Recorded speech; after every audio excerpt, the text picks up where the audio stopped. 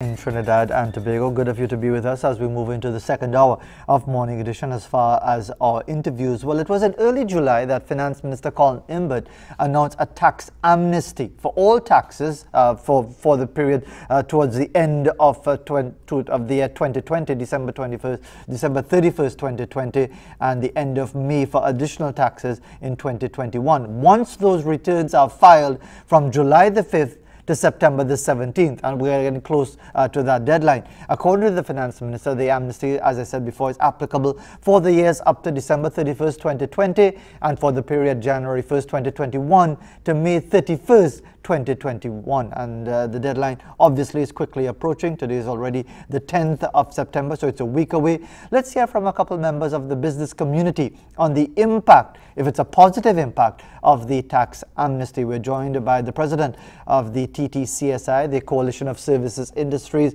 Mark Edgell and uh, the head of the Tobago Business Chamber Martin George good morning gentlemen thanks very much uh, for joining us Mark Edgell if, if, we could start with you uh, your perspective on this on this tax amnesty amnesty, which is due to run out in a week's time? Hi, good morning, Fazeer. Good Morning, everyone.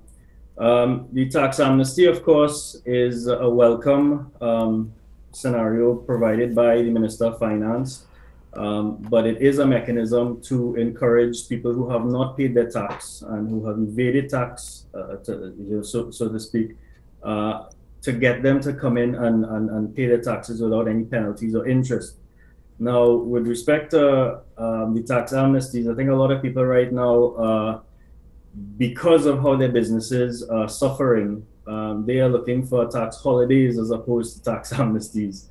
Um, this is this is you know to assist in in recovering and getting back to business, you know, and working through this pandemic situation where the government is not providing uh, enough stimulus or support for the business community and for small businesses so, uh, in, in, in particular.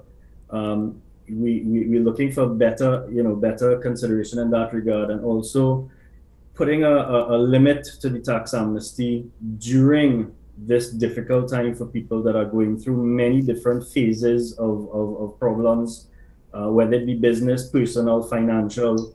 Uh, it, it, it does pose additional pressure during a stressful time uh, for people to comply with a deadline. And we're also seeing it now with, um, with a November deadline on the property tax applications as well. And before I bring uh, Mr. George into the discussion, how would you respond, Mr. Edgell, to the assertion, well, look, the, the, government needs money as well. The government needs money to, to, to provide a, maybe a wider safety net for the most vulnerable in our society. So as much as it may be difficult, you have to pay the tax. Absolutely. And I 100% agree with that. The government is in a difficult position. The taxation and the collection of taxes that are outstanding, they are well within their right to collect it. I'm not objecting to that. Um, the timing is just a little difficult where people uh, to meet a deadline may be difficult. I mean, one of the one of the issues I can see is people that need the assistance of accountants, for example. Everyone has been working with limited staff and, and, and cycling of, of staff on, on days on, days off. So the capacity to handle the, the, the necessary services for people who need uh, financial assistance or, or, financial accounting assistance to prepare their tax returns and have them submitted and pay their tax is also a challenge. So that does need to take, be taken into account. But absolutely, the taxes do need to be paid if they are due. Um, and we do understand that the government is in a position where the tax collection does need to offset the losses in or, or the reduction in the foreign exchange in, uh, uh, inflows from the energy sector.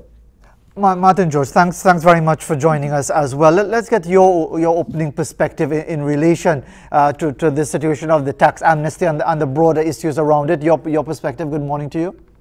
Yeah, hi, good morning to you, Fazeer. Good morning, Trinidad and Tobago. You, you know, the thing is, one has to consider it as a balancing act.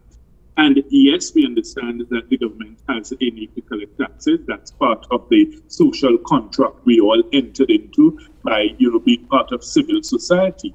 However, there is the fact that, for instance, take for instance the contractors who have recently lamented the fact that the government has over half a billion dollars outstanding for some of them You have some of them with millions and millions of dollars in unpaid bills from the government. So, therefore, in a circumstance like that, it's really, really hard to say, well, look, you are sticking to this deadline of 17 September for your amnesty. I think definitely it needs to be extended to 31st December to at least give people a little breathing room because you're hoping that, look, maybe if the um, curfew and the state of emergency ends in November and there's going to be a little easing of the economic activity so that people could get a little, you know, windfall over the Christmas period, then at least people might be in a better position. You think also because you of so many other service providers and suppliers to the government who have bills outstanding. I'm not just talking contractors, I'm talking about every man of service. You have people who are being owed by the government. And while these people have had to hold straight, it's kind of hard to then turn around on them and say, well, look, hey, your time is up with this amnesty. I'm coming after you for your taxes, you know. So I think that really and truly in the balancing act that the government has to do because they have to understand how people feel out there. It's not just a question of, well, okay, I need to come down with a heavy hand and collect the taxes. And, you know, as Mark mentioned, the, the property tax also. I think even that, with the November 30th deadline, I think that's highly unrealistic with the greatest of respect. And that has to, I think, be pushed somewhere into 2021 because there's no way that in the midst of all that is going on, you can tell people that, look, um, you have to meet this deadline, you have to get all these things in order, get your deed, get copies of this, get this, when even the government offices, which are supposed to supply these deeds and um, certificates and everything, they most times are not functioning. You go to apply for anything. You you look right now. We've sent a power of attorney to be registered. They've given us a, a timeline of two months to collect it. Two months to collect it, just the registered copy of the document. So it's quite impractical and implausible in the light of the current pandemic, the current circumstances of many of these government offices not functioning properly. And the thing is, you now have the online system that has been implemented by the Registrar General's office. Most persons are not registered on that online system. In fact, most attorneys are not yet even registered on that online system. And that is what they're now saying is the system whereby you have to access if you want to apply for copies of deeds or documents or all those things. So therefore, it is not a scenario where you have now implemented this. People have to learn the system. You, you're talking about people who may not have access to a device, who may not have access to, you know, an online platform, and then they have to do all the registration. Then they have to apply online for all these things. So I think when one looks at it holistically, while we understand the intent and the need, it clearly is not a practical or pragmatic measure at this time. And I think there need to be extensions of both deadlines. The 17 September deadline for the tax amnesty, I think that should be pushed to 31st December. And I think definitely the November 30th deadline for the property tax registration has to go somewhere into 2022. And the finance minister did indicate when he spoke in early July that there is the possibility, and if, if, I could quote him correctly, he says that as we have done in the past, we will, we, we will be able to prescribe a later date by order to extend that period if it becomes necessary. So from, from what you're saying there, it is necessary to extend it that deadline. It's necessary for you because I could tell you that online registration system for the um, Registrar General's office, as I tell you, most attorneys are not yet registered on that. So much less for members of the general public. So how are you going to access if you have to provide copies of your deed if you don't have it, if you have to provide copies of other official government documents that you need from the Registrar General's office. It's not practical at all. And I think maybe that's something they did not factor in because that's something from the Attorney General's office where the Registrar General falls under. And with that new system being implemented, that I think the public will need some time to get up to speed with that system. And getting back to, to Mark Edgell, as, and, and, and clearly we, we started our discussion, in fact, where you were invited to be part of the discussion to talk about this, uh, this, this tax amnesty thing, but obviously it brings into to, to the conversation broader issues related to, to bureaucracy and administration of, of things. You, you highlighted, uh, Mr. Edgell, issues related to getting uh, your, your, your things in order via an accountant. But just for the sake of argument, obviously, we're talking about arrears. So shouldn't those things have been sorted out already with your accountants or with business people with their accountants? Because we're talking about arrears here, aren't we? Absolutely. As I said, I mean, I do encourage and support anyone who has tax outstanding to make those payments. But we're also looking at people, uh, small business owners who are not exactly tax compliant, um, even with their registration requirements and so on. So what we found is even with uh, potential grant scenarios in Trinidad for the pandemic um, assistance, people have not been able to access. When I say people, small businesses have not been able to access those grants because they are not up to date with all their statutory requirements, registration and NIS, you know, PAY health charge, all those things are not in order or not in good order. And this is one of the things that we are actually working at the TTCSI to, to facilitate um, better training and education for people to understand how to go about these things if they if they currently do not. Um, I mean, something we need to we need to understand, or, or, what we're realizing is that during the pandemic, it has been business as usual almost um, the, the, the pandemic management has almost been like a parallel healthcare system for, for, for the, the, the COVID patients, where the government has the Ministry of Health and, and so on handling or, or managing that aspect of it. But with regard to everything else going on in the government, it seems to be very much business as usual.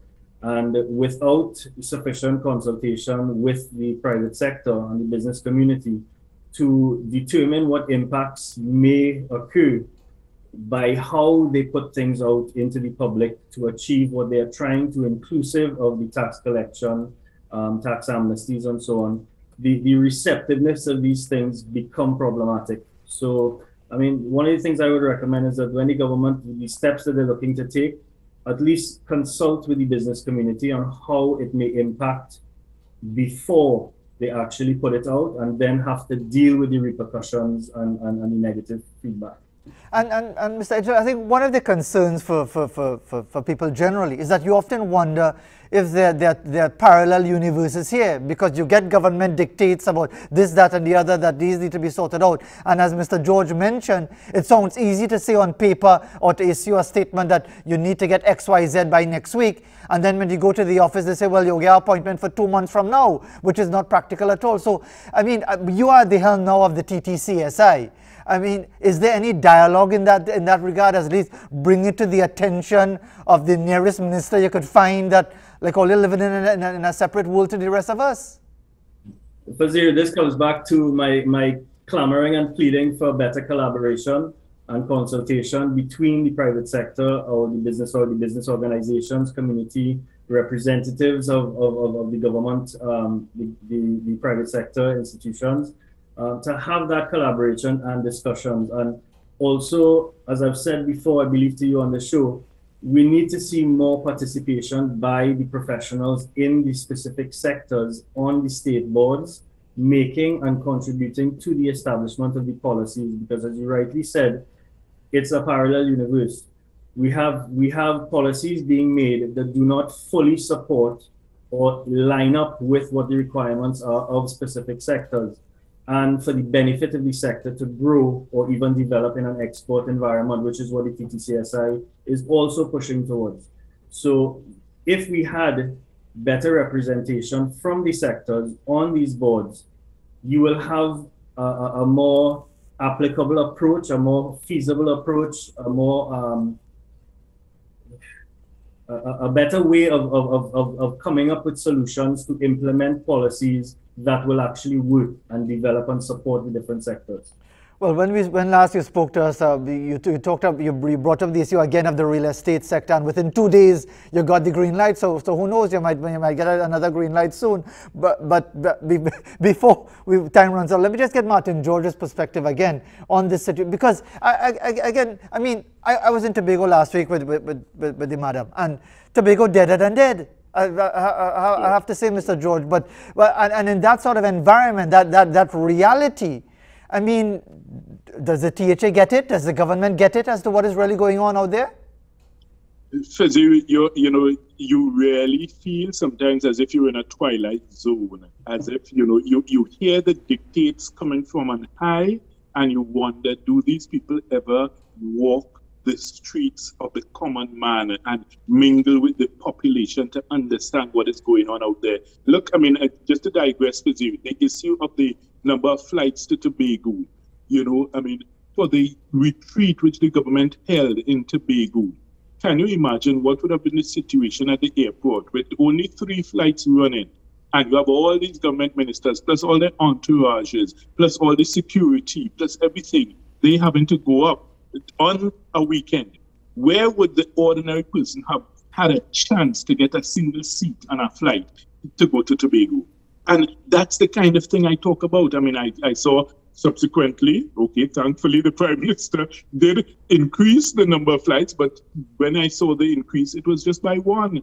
You know, so I mean, still you have that disconnect. You have a disconnect also for you in that the government is coming on the public and saying, look, you need to pay up, you need to do these things. Look at the disconnection drive that was started in the height of the pandemic. I mean, I was one of the first persons to speak out against it. I said, you cannot be serious.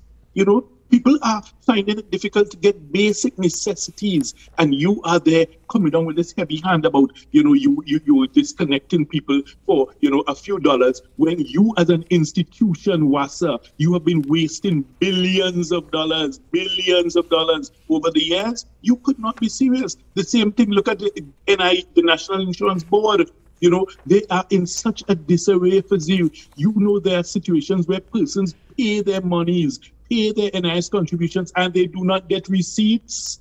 They do not get receipts. I mean, th- this situation is such a mess that while we uh, urge and encourage persons, yes, pay your pay your taxes, pay your NIS contributions, etc. The government also has to recognize where it is falling short. Look at the question of VAT returns due to so many business persons outstanding for years you know, but you're telling them, look, if you don't pay your VAT, you're going to be penalized. But then when I process everything and I'm supposed to get my return, you're saying, well, no, um, I can't pay you yet. Come on, the, the, the, the playing field has to be leveled and there has to be a level of empathy. That's all we're asking for. You know, maybe what our government ministers and leaders need to do, come and sit talk with the common man. Come and sit and talk with persons like Fazeer Mohammed on this morning show, and they will get a better insight into what the reality of life is like for the ordinary person out there. It is not easy and it is not simple. And as you said, Fazeer, for Tobago, I mean, Tobago is in a crisis economically. And I mean, the thing is, with no beaches open, you're talking about little or no domestic tourism activity because there's very little incentive for Trinidadians to go to Tobago now. You know, no bars are open, no restaurants, etc. So, you know, you have to look at these things and understand that yes, while we want to collect more taxes and collect more payments and encourage persons to pay their NIS, etc., we also have to balance it and recognize that look, persons are in a difficult place and that we ourselves as government, we are not in a perfect state at all. There are things that they need to fix. Martin George and uh, of course uh, uh, the guest uh, with us this morning, Mark Edgell. Thank you very much uh, this morning for taking the time and, and to, again reiterate the realities out there for the business community and the wider population of Trinidad and Tobago. Thank you very much indeed for taking the time, gentlemen. Always a pleasure. 724 in Trinidad and Tobago as uh, we move right along and, and, and yes it, it, is, it is you often you often wonder where do these people live I mean, we, know where they're going to be this afternoon when they formally open the parliament and so on, when the first 12th session or 13th session or 59th session, whatever session it is.